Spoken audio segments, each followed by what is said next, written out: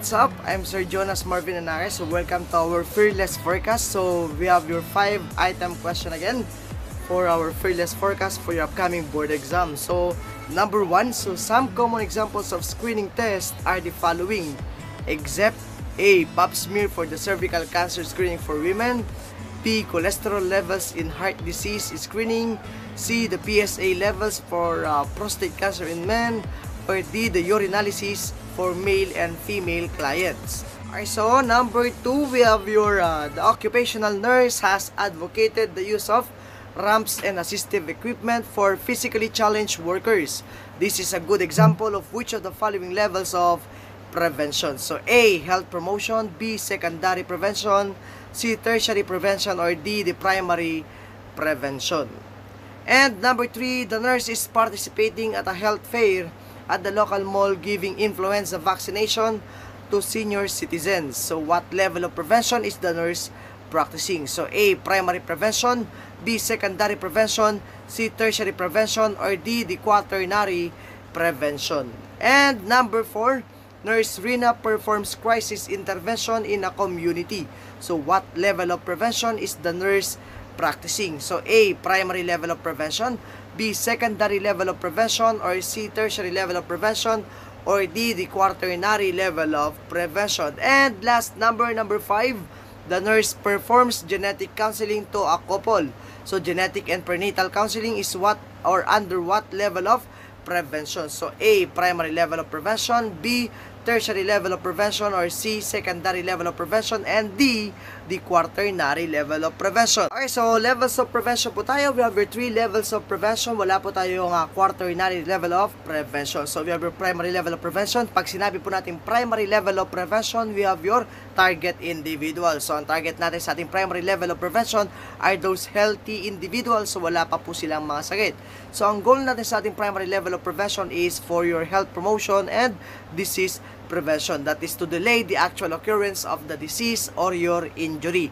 So under your uh, primary level of prevention, we have your activities like your health promotion and your disease prevention activities with our mnemonics, the 3H and the 3I mnemonics. So 3H, we have your health education, healthy lifestyle habits, we have your uh, hygiene and your uh, sanitation. And next we have also your three I's. So we have your I, we have your immunization, the isolation of the sick child, and your intake of your prophylactic medication. So ulitin ko, we have your 3H and the 3I for your primary level of prevention, health education, healthy lifestyle habits, we have your uh, hygiene and your sanitation, we have also your immunization, isolation of the sick child, and your intake of your prophylactic drugs. Again, so primary level of prevention, wala pang sakit ang ating mga target na individual.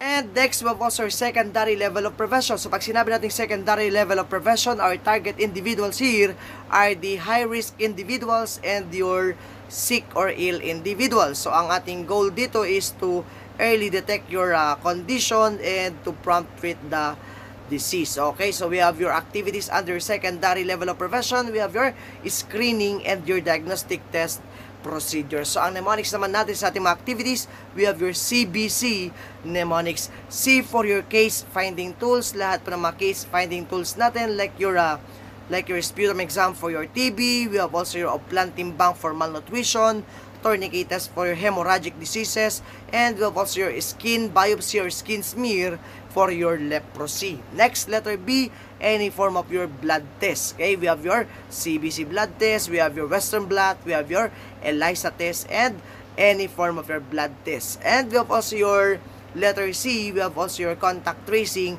and we have also your letter C, also we have your case finding and the crisis intervention. Okay, so yun po yung ating secondary level of your prevention. Again, so we have our CBC, we have your case finding tools, we have your blood tests, we have your uh, contact tracings and your uh, case finding tools and the screening procedures like your uh, like your uh, X-ray, MRI, ultrasound, we have your uh, ECG, colonoscopy, biopsy, pap smear, PSA level, cholesterol level. So that is your under your screening procedures. And last level of our prevention, the tertiary level of prevention. So pag sinabi po natin tertiary level of prevention, we have your tertiary level of prevention, the target individuals here are the seriously ill or the chronically ill clients. Okay, so we have your uh, we have your uh, goal here. This is to uh, delay or to prevent the uh, progression of your disease or disability and to prevent complication and to restore your level of functioning. So the most common activities in your tertiary level of prevention is rehabilitation. Ulitin ko, the most common activities in your in your uh, tertiary level is your rehabilitation. So we have your mnemonics, we have your thumbs mnemonics. Okay, we have your thumbs up mnemonics. T for your therapy, we have your H for your helping your clients in your relocation. We have your letter U, use of assistive device, M for your continuous monitoring. We have also your letter B, we have also your B bandages and your splints.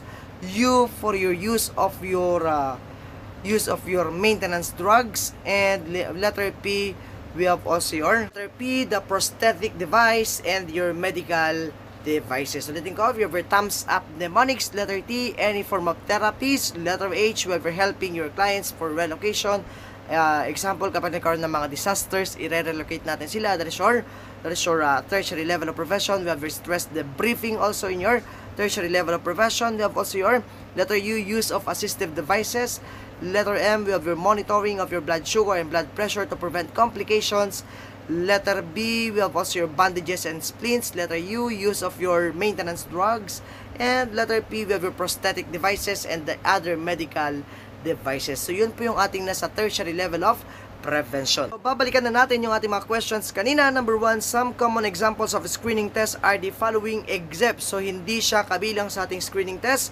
So, pap smear for cervical cancer, pasok po yan because pap smear is your primary screening test for your cervical cancer for women. Letter B, we have your cholesterol levels in heart disease screening. So, pasok din po yung ating cholesterol level for screening for risk for your cardiovascular diseases in your clients. And letter C, we have your PSA or your pro, uh, We have your PSA, we have your prostate-specific antigen level for prostate cancer in men.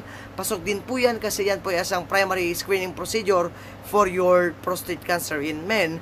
And letter D is the correct answer. Urinalysis for male and female clients. Although nakaka-detect po yan ng mga UTI and other kidney uh, infection or kidney conditions, hindi po siya routine as a screening test procedure. So letter D is the correct answer for let number 1. And number 2, we have your the occupational nurse has advocated the use of ramps and assistive equipment for physically challenged workers. This is a good example of which of the following levels of prevention. So this is a common board question. Number 2, letter A, health promotion, B, secondary, C, tertiary, or D, primary level of prevention. So, gumagamit po tayo dito ng assistive devices. So, it is a form of rehabilitation process. So the correct answer in your number 2 is letter C, tertiary level. And number 3, the nurse is participating at a health fair at the local mall in uh, giving influenza vaccination to senior citizen.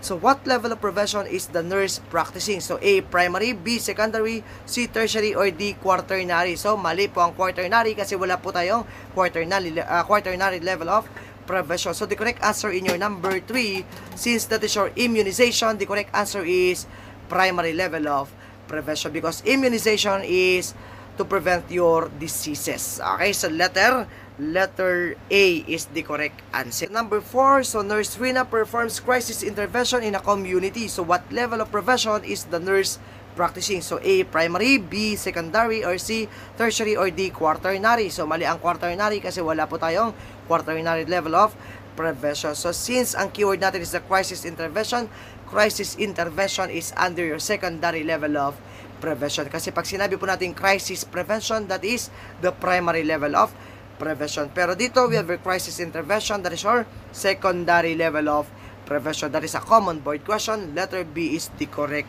answer. And last number 5, the nurse performs genetic counseling for a couple. Genetic and prenatal counseling is under what level of your prevention? So genetic counseling. So pag counseling pa lang po yan, that is letter A, primary level of prevention. Okay? Prevention. So okay, so these are the five items common board question about the levels of your prevention.